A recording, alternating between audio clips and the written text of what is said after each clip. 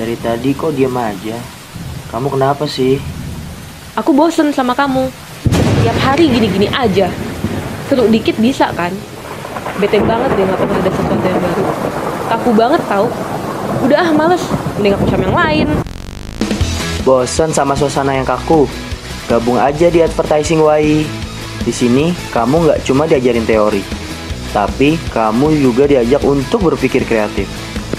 Ayo, gabung sekarang juga.